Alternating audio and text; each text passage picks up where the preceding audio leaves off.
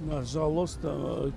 жал ми е за тоа што ова каснување Сдруженијето на диабетичарите го знаат тоа, во неколку наврати беа кај мене, знаете дека од предходното раководство на, на Министерството, значи каснело тендерот околу 4-5 месеци и ние заедно со Сдруженијето на диабетичарите, на вистина го правиме невозможно да го правиме овие месеци, за да можеме тој тендер побрзо да го објавиме, но знаете, од моментот кога се објавува тендерот, имат рок фирмата, компанијата што ги носи глукомерите и лентите од 3 до 6 месеци, значи во овој случај не беше пракса, значи под моја иницијатива ги замоливме представниците од компанијата, беа во два наврати кај мене, за да можеме што побрзо да ги набавиме овие глукомери и лентите, за да можеме нормално диабетичарите да го добијат тоа што им е свето право, што им е загарантирано и со закон, а на вистина е свето право за таквите болести да немат глукомери и ленти. Тоа што го гледав по медиумите,